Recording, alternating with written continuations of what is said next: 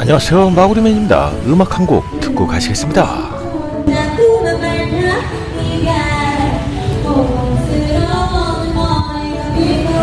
이날 신포동에서 무슨 어, 버스킹 그 공연을 하더라고요. 근데 음악이 좋아서 잠깐 들었습니다.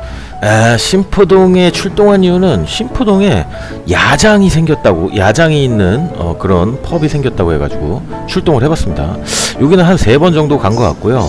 전체적으로 메뉴가 아주 우수했습니다. 진짜 맛있었어요. 여기는 신기하게 어, 매장을 지나서 뒤로 가면 야장이 있더라고요 한번 들어가 보시죠. 요날이 첫날 점심 먹으러 한번 가봤는데 어, 야장이 이렇게 있어서 깜짝 놀랐습니다. 아 다음에 술 먹어야지 하고 픽을 해두었다가 비가 오는 날 한번 가봤죠. 바로 이날입니다. 자 이거는 모듬 플래터라는 건데 새우도 있고 뭐 스테이크에 소세지 가리비 뭐 여러가지 뭐 버섯류와 샐러드류로 어, 되게 구성이 아주 좋았습니다. 이날은 지인들이랑 남자 셋이서 칼질을 좀 하러 가봤습니다. 가끔 그런 날 있잖아요. 칼질하고 싶은 날. 뭐 그런 날이었습니다. 자, 전체적인 비주얼이 아주 좋죠.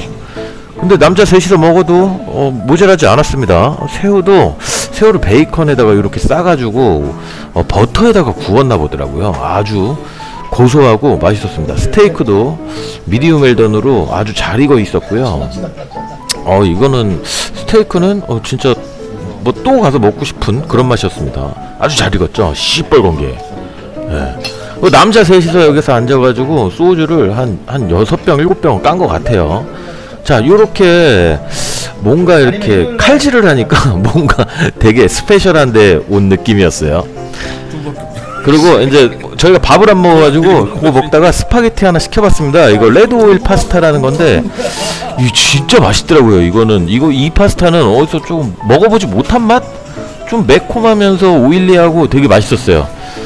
자 이렇게 비가 떨어지니까 하, 이거 여기서 야장에서 술을 먹었어야 되는데 아 근데 요 날은 조금 아직 선선하진 않았던 날이에요 저번 주라서 어, 조금 요 비 오고부터가 조금 시원해졌죠 그래서 또 한 번 출동할 생각입니다. 요 레드홀 파스타는 진짜 맛있습니다. 한번 뭐 점심 때라도 한번 드셔보는 거 추천하고요. 이거는 제철 조개 술찜이라는 건데 어우 씨 이거 마지막에 요거에다 한세병더 때린 것 같아요 아주, 아주 칼칼하니 괜찮았습니다 그래도 제가 요새 여기를 좀 자주 가는 편인데 사장님께서 어 이제 너무 배고파서 막 개걸처, 개걸스럽게 먹으니까 하나 더 드시라고 이렇게 서비스를 내주셨는데 요것도 이제 메뉴로 출시하신다고 합니다 되게 간단한 안주인데 되게 감칠맛이 많이 나더라고요 저렇게 통으로 썬 버섯은 그 뭐야 전복 맛이 나더라고요 아 이렇게 어 신포동 이 레스토랑 분위기에서 소주를 먹을 수 있다는 게 아, 너무 행복했고요. 다음에 야장으로 한번 출동해 가지고 야장에서 먹는 그런 느낌도 한번 찍어서 올리도록 하겠습니다. 여러분 짠 이만 가겠습니다.